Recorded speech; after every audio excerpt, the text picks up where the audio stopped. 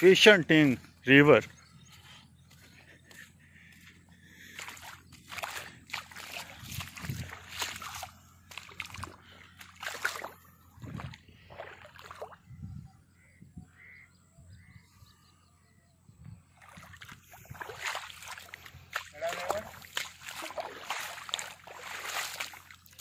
पानी गर्म है।